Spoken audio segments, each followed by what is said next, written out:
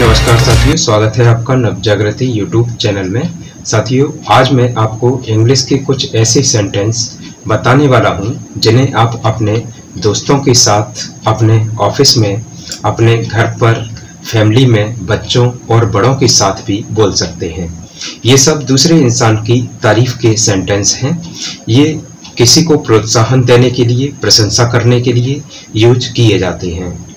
और ये सेंटेंस आप फेसबुक व्हाट्सएप या ट्विटर पर भी किसी को कमेंट या मैसेज करने के लिए यूज़ कर सकते हैं। सेंटेंस के साथ मैं आपको ये भी बताऊँगा कि कौन सा सेंटेंस किस मौके पर यूज़ करने में बेस्ट रहेगा। पर सबसे पहले शुरू करते हैं कुछ ऐसे सेंटेंस जो आप किसी मौके पर दूसरे की तारीफ़ करने के लिए यूज़ कर सकते हैं। तो आइए शुरू करते हैं। यू आर वेरी कर्टियस जब कोई इंसान बहुत विनम्र हो और तहजीब वाला हो तो उसकी तारीफ़ के लिए उसको आप कह सकते हैं you are very courteous you are so nice तुम बहुत अच्छे हो. यू आर ऑसम तुम बहुत कमाल के हो. यू आर फैंटास्टिक तुम गजब के हो. यू आर वेरी क्रिएटिव जब कोई इंसान बहुत रचनात्मक हो कुछ हटके, कुछ अलग करने वाला हो तो उसकी तारीफ़ के लिए ये वर्ड आप यूज़ कर सकते हैं। जैसे कि आपको किसी की पेंटिंग पोएम बहुत अच्छी लगी हो तो आप उसको कह सकते हैं you are very creative you are trustworthy जब कोई इंसान हमें बहुत भरोसेमंद लगे तो हम उसे कह सकते हैं कि तुम भरोसेमंद हो। You are trustworthy you are so kind तुम बहुत दयालु हो, बहुत नेक दिल इंसान हो। हम ये वर्ड उसके लिए यूज़ करते हैं, जो आगे बढ़कर किसी की मदद करने के लिए आता है।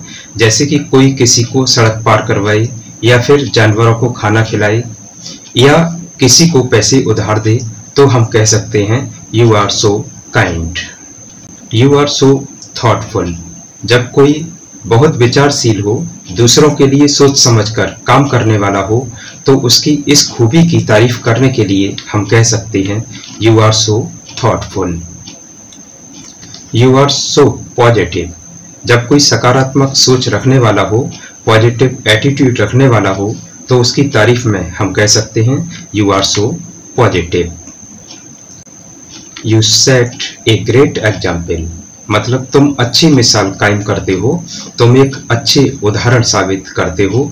जब कोई ऐसा अच्छा काम करे जो दूसरों के लिए एग्ज़ाम्पल बन जाए तो हम उसकी तारीफ़ में उससे कह सकते हैं you set a great example you are so caring caring होना मतलब अपनों की देखभाल करने वाला परवाह करने वाला चिंता करने वाला।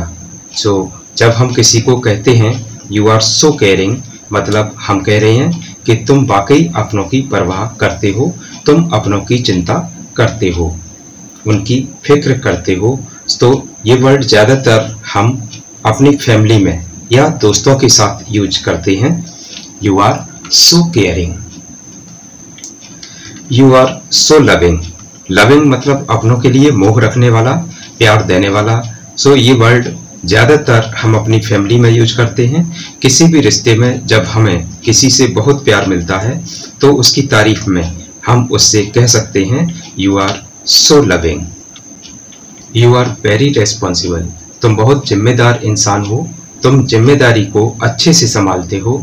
तो ये वर्ड हम बच्चों को, दोस्तों को, या ऑफ़िस में, या घर में, किसी बड़े के लिए उनकी तारीफ़ में यूज़ कर सकते हैं। You are very responsible you are a genius genius होता है एक प्रतिभाशाली इंसान। तो जब कोई बच्चा या कोई दोस्त या ऑफ़िस में कोई इम्पोर्टेंट प्रॉब्लम सॉल्व कर दे या कोई खास आइडिया दे दे तो हम उसकी तारीफ़ में कहते हैं you are genius you are very talented तुम बहुत गुणवान हो। तुम में बहुत काबिलियत है, बहुत टैलेंट है। ये कहने के लिए हम बोल सकते हैं you are very talented you are very smart इस सेंटेंस का मतलब है कि तुम बहुत स्मार्ट हो, लेकिन यहाँ पर स्मार्ट का मतलब ब्यूटीफुल या हैंडसम नहीं है। हम यहाँ किसी की खूबसूरती की बात नहीं कर रहे, बल्कि हम किसी के चतुर तेज तर्रार चुस्त, होशियार होने पर कहते हैं यू आर वेरी स्मार्ट जैसे कि कोई होशियारी के साथ कोई बिज़नेस डील जीत ले तो उसकी तारीफ़ में हम कह सकते हैं you are very smart you are very patient patient का मतलब यहाँ पर डॉक्टर वाला पेशेंट नहीं है। पेशेंट का मतलब है धैर्य रखने वाला, सब्र करने वाला, क्योंकि सब्र का फल मीठा होता है। तो सब्र करना एक क्वालिटी है। तो इसकी तारीफ़ में हम किसी से कह सकते हैं you are very patient you are so dedicated dedicated मतलब पूरी तरह से समर्पित दिलो जान लगाकर काम करने वाला। तो जिसमें भी ये हुनर हो, उसकी तारीफ़ में आप उससे कह सकते हैं you are so dedicated you are so encouraging encouraging का यह मतलब है उत्साह देने वाला, प्रेरित करने वाला। किसी काम के लिए हमें आगे बढ़ने के लिए मोटिवेट करने वाला एनकरेज करने वाला। तो जब भी कोई आपको प्रोत्साहन दे, आपके लिए चीयर करे, आपको मोटिवेट करे, उसकी तारीफ़ में आप कह सकते हैं you are so encouraging you are outstanding मतलब तुम सबसे बढ़कर हो। यू आर आउट आउटस्टैंडिंग लगातार नया सीखने के लिए नव जागृति यूट्यूब चैनल को सब्सक्राइब करें। प्रेस करें बेल के आइकॉन को।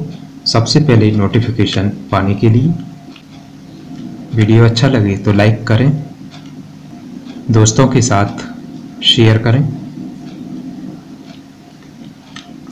Thanks for watching